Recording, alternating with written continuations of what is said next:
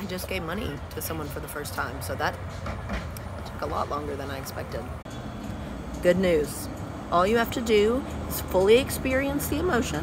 It will rise and peak and pass in about 90 seconds. Then you can eat tacos. Problem solved. Found where I'm having lunch. No music playing, but I still like the vibe. And now I want to go to New Orleans.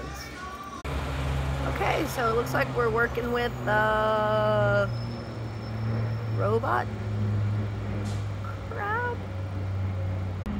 Why did I think it was a robot? I don't know. Uh, it looks like there's a hand with an eyeball coming out of a chimney, because that happens. Uh, maybe an old school TV coming out of an antenna. Yep, sure. Got it. Um, uh, a spike collar? Would you say that was a spike collar? I think so. A drum, maybe? Is that paintbrush? Spray paint? Yes!